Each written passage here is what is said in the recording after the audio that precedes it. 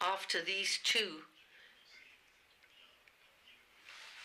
presentations, I would like to say that when you fight against racism, and of course SOS Racisme in France is um, an organization to fight against racism, anti-Semitism, and uh, discrimination. It's not something we do for glory. It's simply because racism uh, is not just unpleasant to hear, but racism leads to consequences which can be apocalyptic.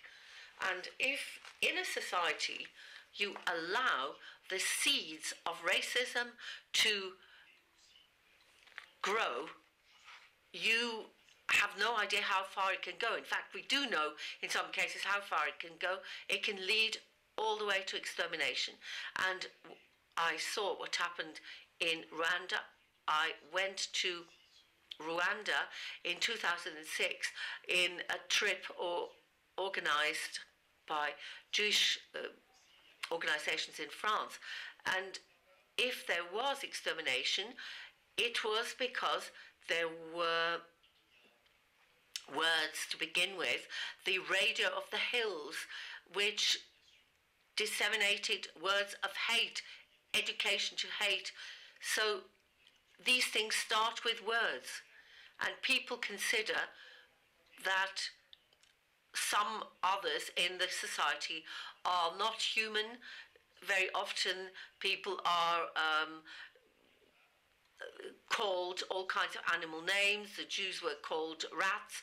The Tutsis were called um, cockroaches, and so on.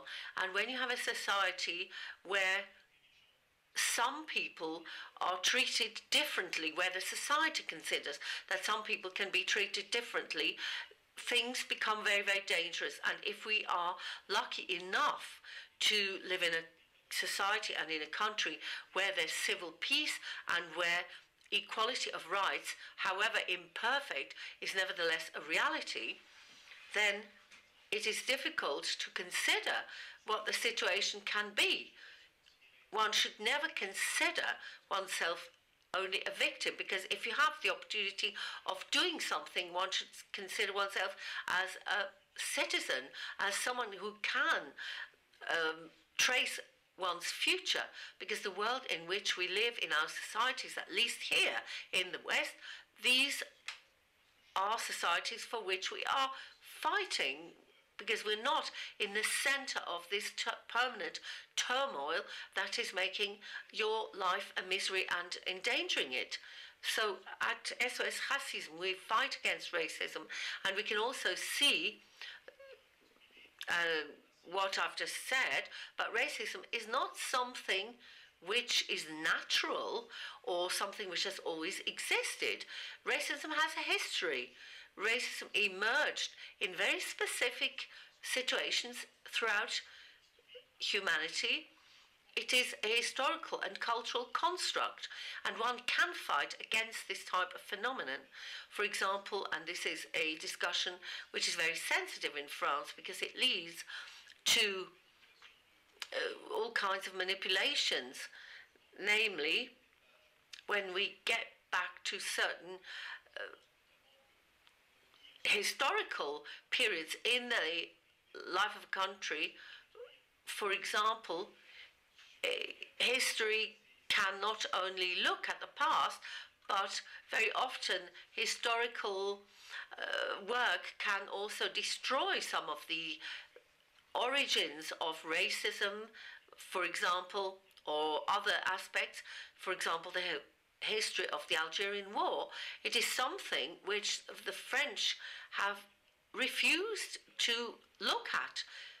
They've refused to go back and look at the situation because it is rather traumatic. And so the Algerians and all the North Africans are somehow uh, associated with people who will stick a knife in your back if you turn your back on them. And so when you go back and look at history, you shouldn't do so with an idea of um, getting revenge or anything like that.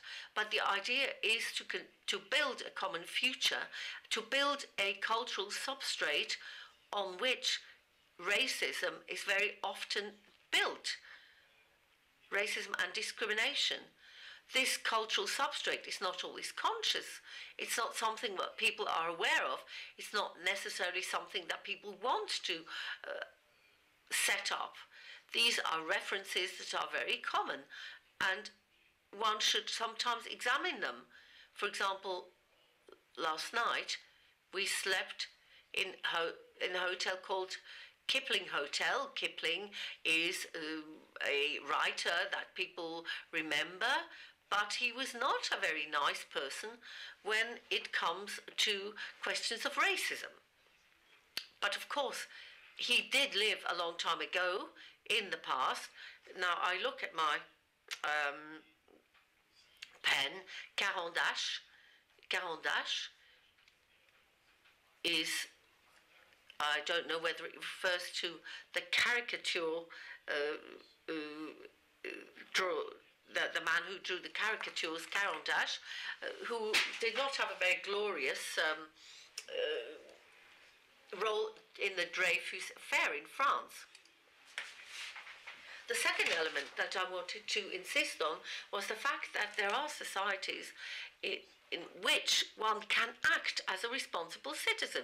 So one cannot only look at the situation as a victim. One should never accept one's role as a victim of society because if that happens, you either become passive because if you're a victim, you say, well, why should I do anything because I'm a victim anyway? Or you can become violent. And this is going to determine all your actions because you are full of rage and anger, and this is not the way out either. So the there are ways of doing things through being a citizen. We try to give people tools to do all kinds of things against discrimination. We want we ask people to talk about their experiences of discrimination to become witnesses.